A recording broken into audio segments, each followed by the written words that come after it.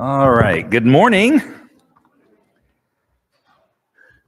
Start with a question. How many of you have been sick in the last year? Probably a good portion of us. How many of you have been really, really sick in the last year? It might be a few of us, right? Yeah. Um, I was was thinking about where to go next, and you know that my uh, uh, normal mode of operations, I like to pick a book and just work through a book. Uh, but you've noticed over the last uh, several weeks, I've been dealing with various topics that have been uh, of interest to us, and that's come from some of my conversations with you. And this idea of sickness, um, I realize that over the last, we've been saying what, over, there's been a lot of people sick in the last several months. And, uh, and it dawned on me, I have never really spent a lot of time on what the Bible says about sickness. And uh, so I want to do that here. And uh, when I got through and I started uh, making notes about the Bible says, once again, this is probably going to be two, maybe even three lessons. Uh, but I know uh, that now, looking at the Bible and looking more closely, the Bible says a lot more about sickness than I had previously thought. And I know when it comes to sickness, especially really bad, debilitating sicknesses, sometimes we have a lot of questions from that, don't we? Well, we have obviously have questions sometimes for God, right? And sometimes we have questions for our Lord uh, Jesus, the healer. But the question uh, I want to deal with, uh, in addition to those questions, is what should be our attitude in the, in the midst of all of this? And how should we deal with it? What does the Bible say about sickness? What place does that have in God's uh, creation? And so this morning, I would just want to spend a few minutes defining what we mean by sickness and then look at its origin in the Bible and then God's solution for it in the Bible. Then we'll move on from there next time. So, start with uh, the definition of sickness. What do we mean by sickness? And when you really stop to start thinking about it, there's a lot of things that fall under the umbrella of uh, sickness. So let's narrow down what we mean by that. If you look in the Oxford Dictionary, it simply says sickness is a state of being sick or ill, the condition of suffering from some malady, illness, or ill health.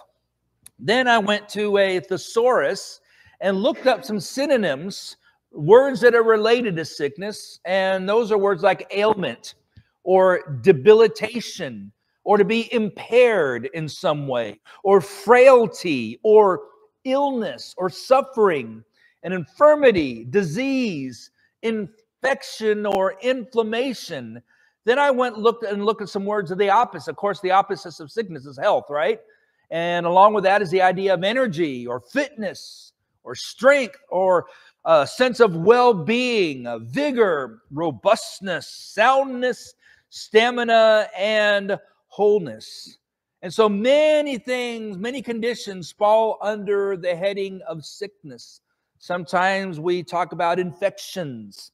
Sometimes we talk about diseases, sometimes viruses or a bacterial sort of a, uh, uh, infection, or even genetic conditions and disabilities.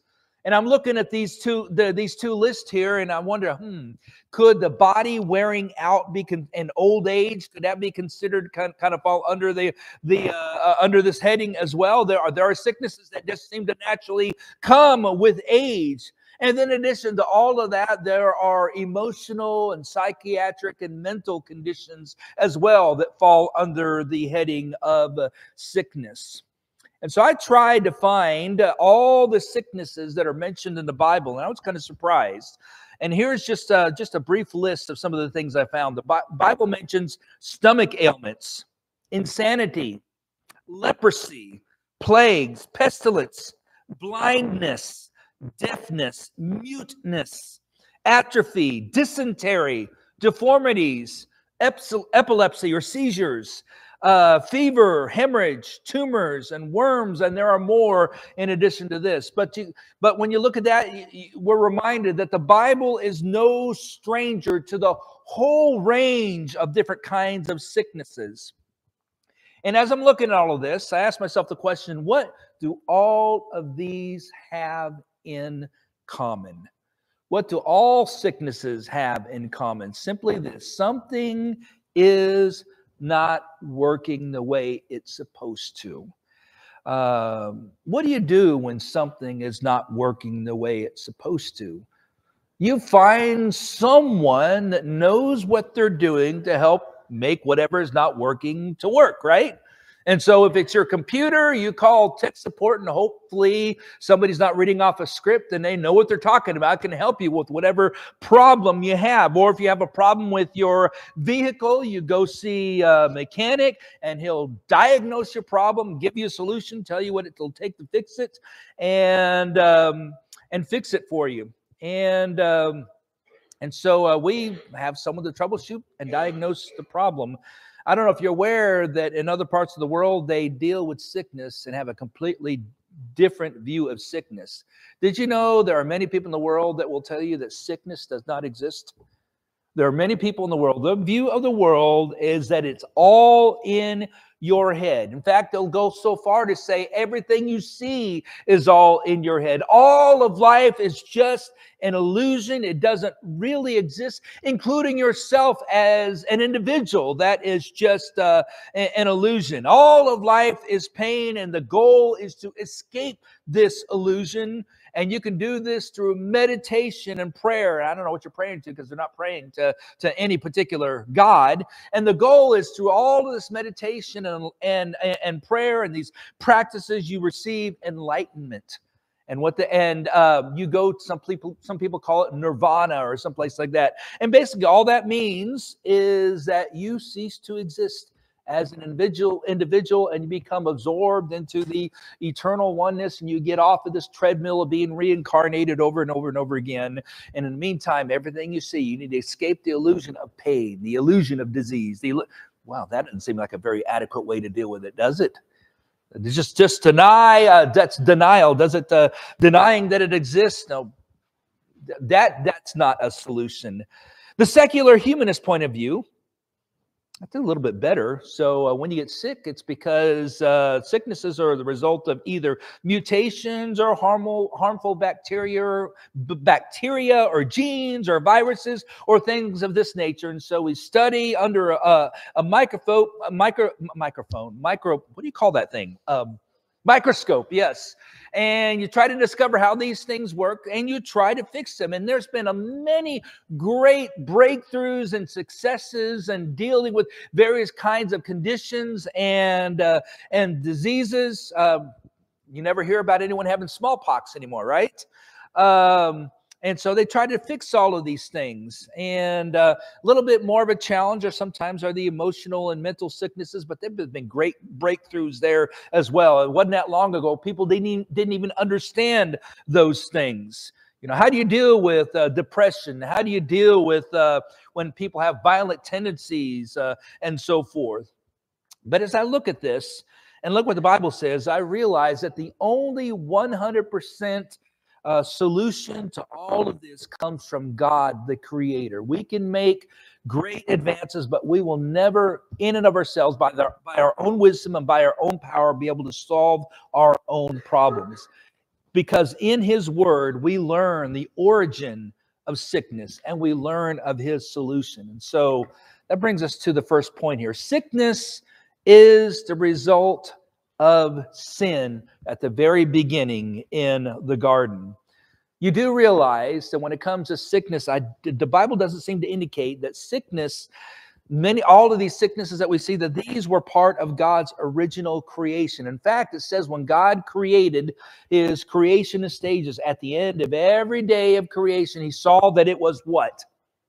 It was good. And then when finally got down to the end and he created mankind, now he sees it's what? Very good. And so that seems to indicate that this was not part of the original creation. It was something that invaded the creation. And I think we see some of that here in uh, Romans chapter 8. For I consider that the sufferings of this present time are not worth comparing with the glory that is to be revealed to us. For the creation waits with eager longing for the revealing of the sons of God. For the creation was subjected to futility, not willingly, but because of him who subjected it in hope. That the creation itself will be set free from its bondage to corruption and obtain the freedom of the glory of the children of God. For we know that the whole creation has been groaning together in the pains of childbirth until now. And not only the creation, but we ourselves who have the first fruits of the Spirit groan inwardly as we wait eagerly for adoption as sons, the redemption of our bodies. For in this hope we were saved. Now, hope that is seen is not hope. For who hopes for what he sees? But if we hope for what we do not see, we wait for it with patience. All right, a couple of points to pull out of this passage here. Number one, suffering is temporary.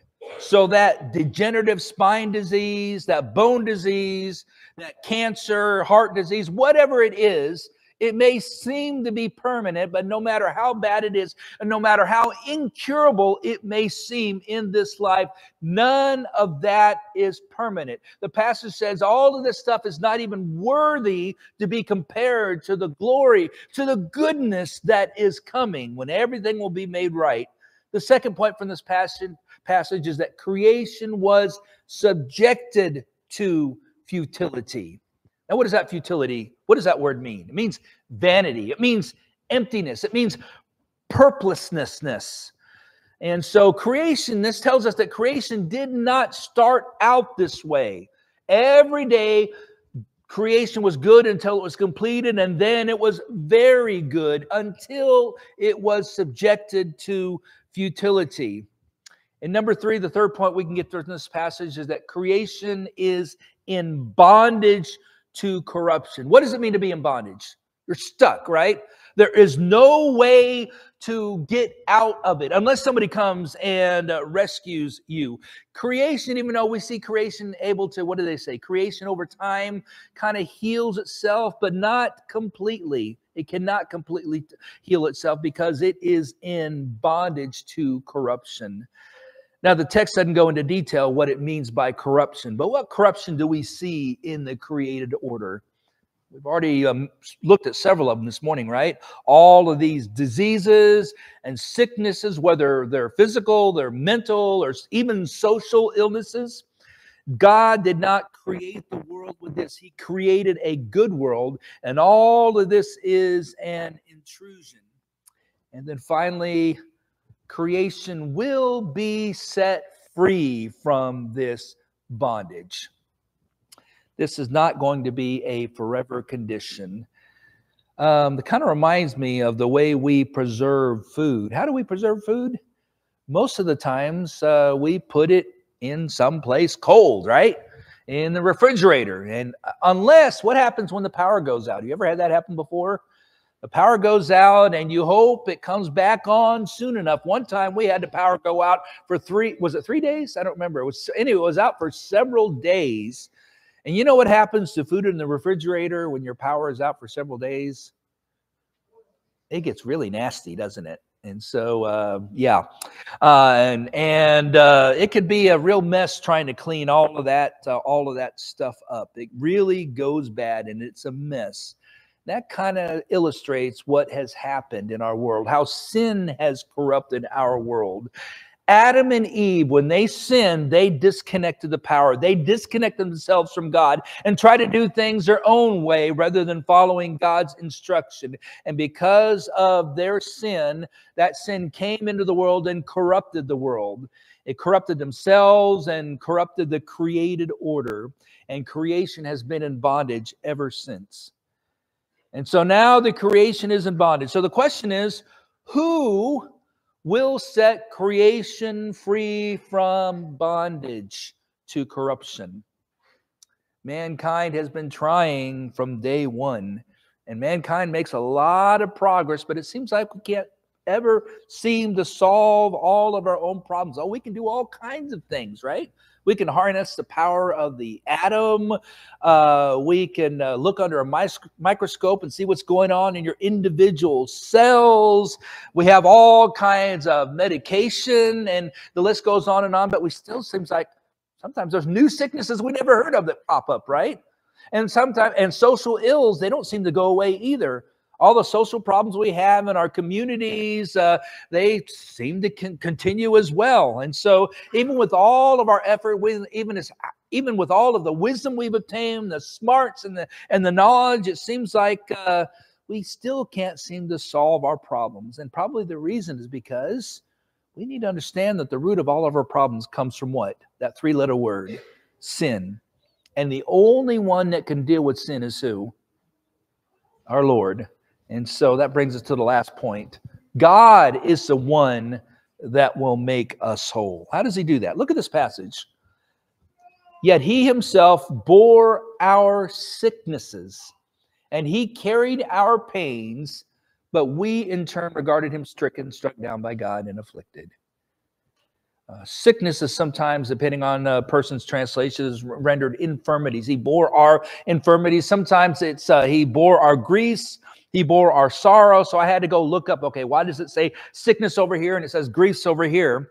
And the Hebrew word chala means sickness um, or extreme distress re- related to the sickness. So it's talking about not just having a cold, but it's talking about something debilitating.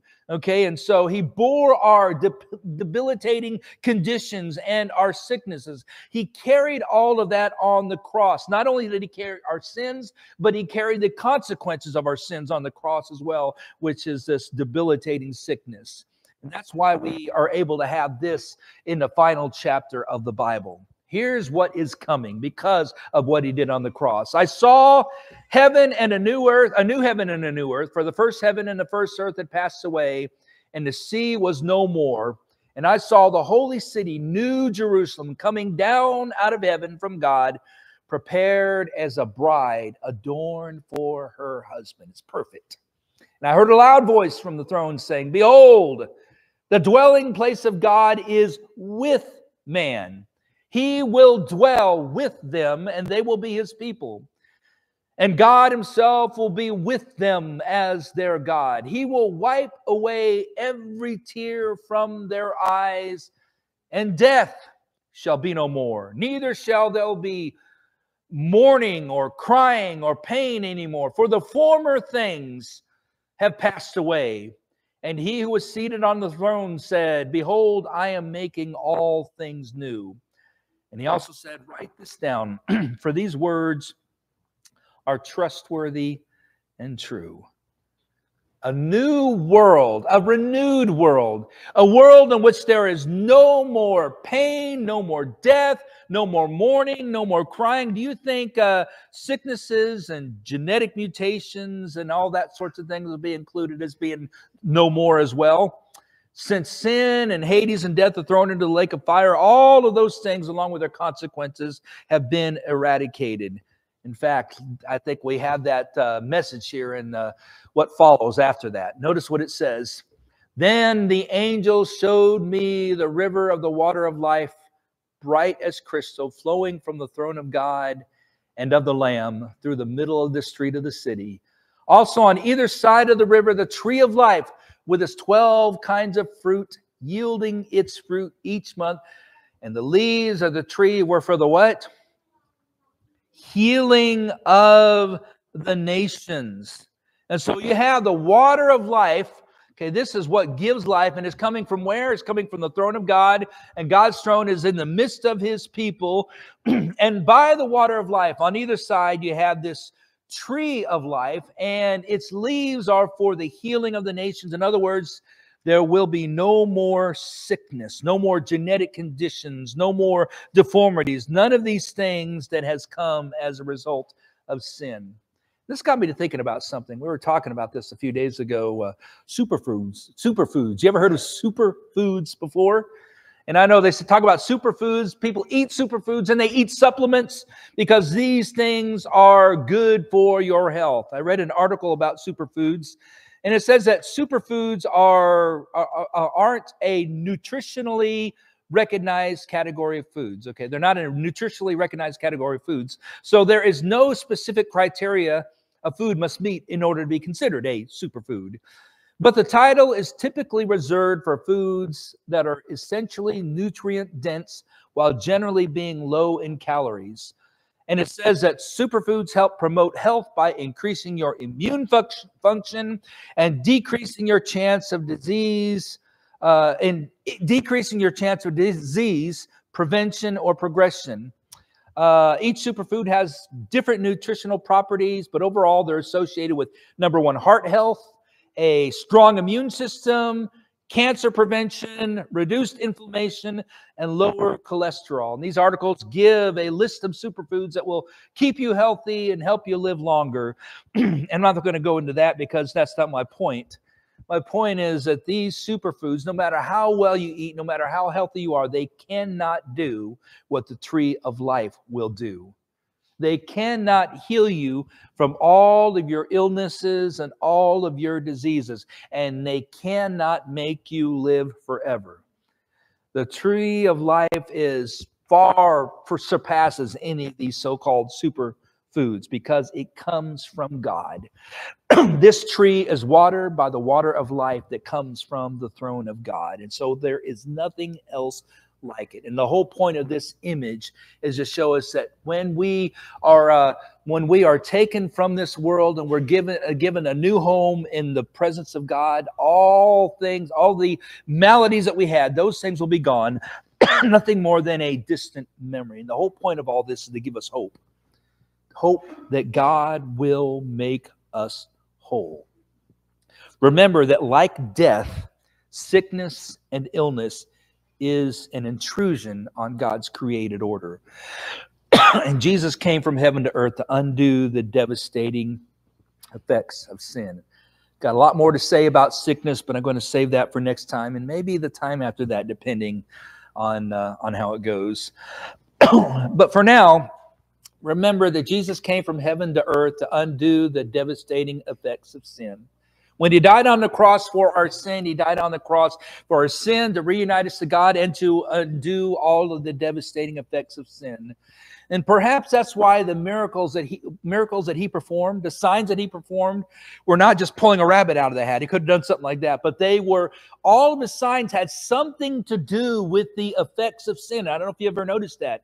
Everything that he healed came as a result of sin, whether it was being uh, demonized by an unclean spirit, or whether uh, it was somebody that was unable to walk, or somebody that was sick, or even somebody that died. All of that is a result of sin. And so his signs show that he came to undo the effects of sin. And he does that ultimately at the cross and at the resurrection.